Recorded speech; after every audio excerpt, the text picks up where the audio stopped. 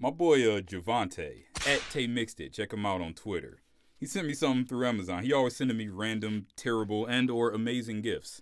And he sent me this. The game the box cover of Sonic the Hedgehog 3. Still got that new poster smell too. I could huff this for hours. But there is a reason he sent me this. It's because I think that this is the greatest video game box art to date of existence of all time. Sonic the Hedgehog 3 this is my personal favorite game box art ever. Not my favorite game ever, just the favorite box art.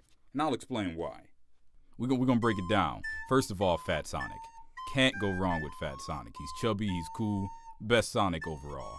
You got Tails' gay ass with his booty tooted up, ready for something to penetrate. You got Knuckles just lurking in this bush like a creep, like a fucking creep.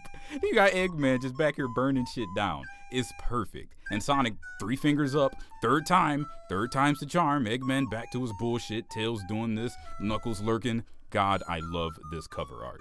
It's just perfect. Everything about this cover art is perfect.